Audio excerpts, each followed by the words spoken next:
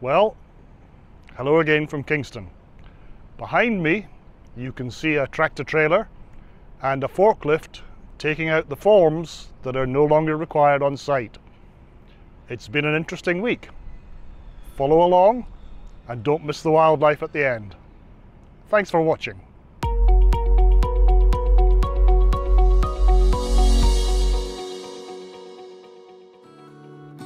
You may remember we ended last week with the east abutment forms in the process of removal and the first slabs going down on span 21. The crane from CA Peters was back on station as soon as the working week began. It wasn't very long before the massive concrete forms were being lifted away from the abutment with appropriate care and attention.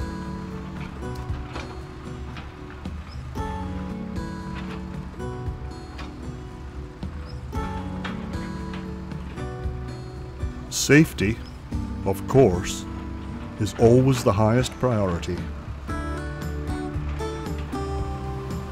Never more so than when you're dealing with truly enormous sections in windy conditions.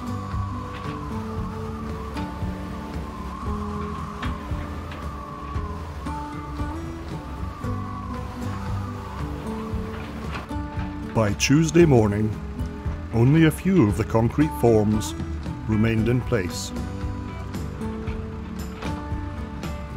And attention turned to dismantling those already on the ground. The task can be more demanding than you might think, with some fasteners putting up stiff resistance. Eventually, you're left with a large number of concrete forms to organise and stack. There are enormous advantages in some mechanical assistance. On Friday afternoon, it was time to stack the whole lot on a trailer and return them to their rental home with a variety of ancillary pieces.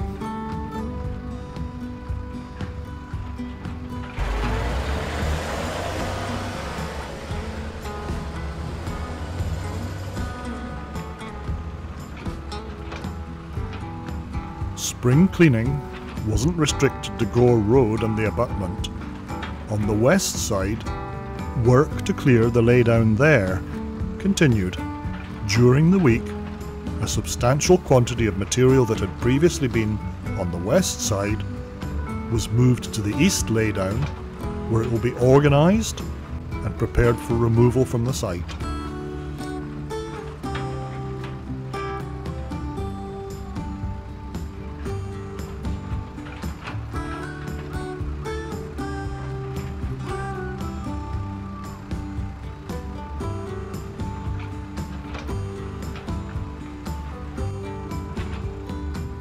Some items, such as these pile bonnets, have already been removed to a temporary off-site storage area. It's time now to look at the story of the final laying of the concrete deck slabs on span 21. Extraordinary efforts were made, and at some points deck slabs were following one another at intervals of less than six minutes. With the final slabs in place by Wednesday afternoon, attention turned to caulking all joints and lifting in the brackets that will provide the safety walkways. Confirming cable runs and natures with one of the project engineers, installing the brackets that will support pedestrian lights, and running additional control cables were amongst the many tasks undertaken by Black & McDonald this week. In future, cyclists will benefit from their own traffic lights, and the control box that will support all the signals on the junction has been installed. Pedestrian crossing controls are in place too. Work continued early in the week to prepare the west abutment to receive the expansion joint which can be seen beside it.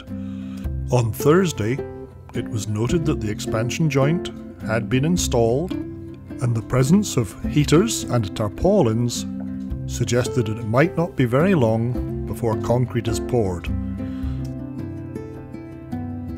Overall, everything seems to be falling into place quite nicely.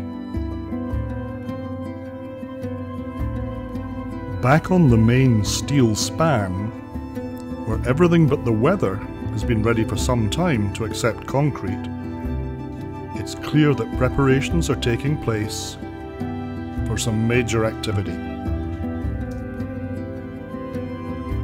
But of course, in this very changeable season, everything depends on achieving just the right conditions. A delivery of drain pipes this week was a reminder that much remains to be done, and we haven't started the West Connector yet. As we run west from about span 15, the good news is that we don't face another winter. The extraordinary effort expended by an amazing team to lay reinforcing rod should continue largely uninterrupted. We'll head for wildlife with a look at the first six spans.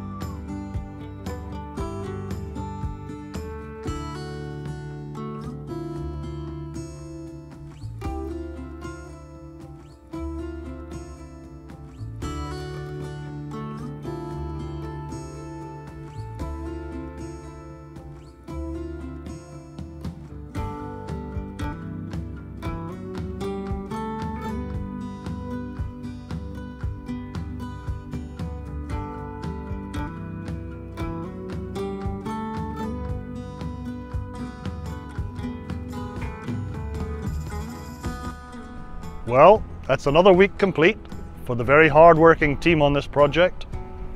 If you enjoy these updates, please consider subscribing. It really does help and encourage me. Bye for now.